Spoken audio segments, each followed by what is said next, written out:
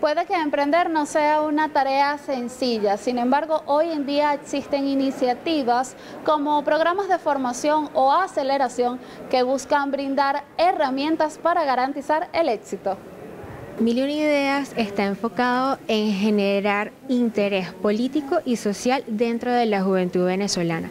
Entonces, justamente lo que queremos a través de este tipo de eventos es que eh, muchísimos jóvenes más estén involucrados en todo el tema de desarrollo de actividades que vayan al beneficio de las comunidades.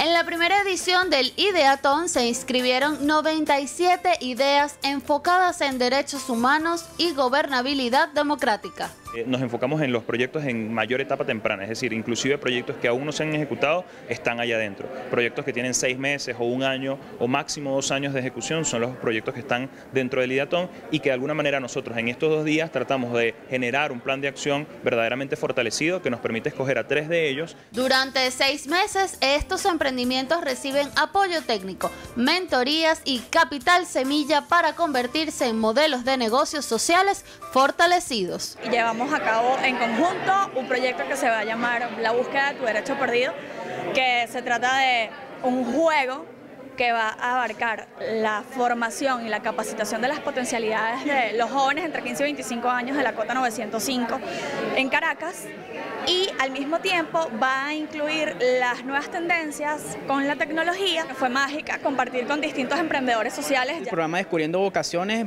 va a, a tratar de abordar el problema de la violencia intrafamiliar eh, cuando hay un hogar es violento, los adolescentes y jóvenes sufren mucho, hay, hay una carencia de afecto, de amor propio, eh, de autoestima que les evita a veces identificar cuáles son sus vocaciones y explotar sus talentos. Me sentí muy bien, este, creo que un poco de las ideas que tenía le dimos más estructura. Lo que hacemos es realmente una conexión con diferentes psicólogos, psicoterapeutas, coach y llevamos esta formación a los niños para que puedan encontrarse a sí mismos y puedan reconocer sus emociones, transformen esas emociones y las lleven a algo positivo creando esa visión de futuro. ¿Qué quieren? ¿Qué, ¿Cuál es su meta de vida? La experiencia ha sido muy buena, la verdad es que nos nutrimos mucho de muchísimas personas, muchísimas visiones, Queda claro que el capital de un emprendimiento no determina su éxito. La clave está en la constancia y la formación.